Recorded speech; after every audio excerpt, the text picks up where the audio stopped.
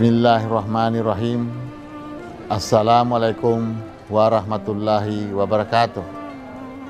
Saya Haji Rusli Habibi, Gubernur Gorontalo atas nama pribadi, keluarga, dan pemerintah Provinsi Gorontalo mengucapkan marhaban ya Ramadan. Selamat menunaikan ibadah puasa 1439 Hijriah.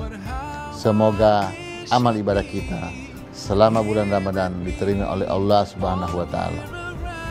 Bulan Ramadan kembali tiba saat tepat mensucikan diri dari segala hilap dan dosa. Terima kasih. Wabillahi taufiq wal hidayah. Wassalamualaikum warahmatullahi wabarakatuh.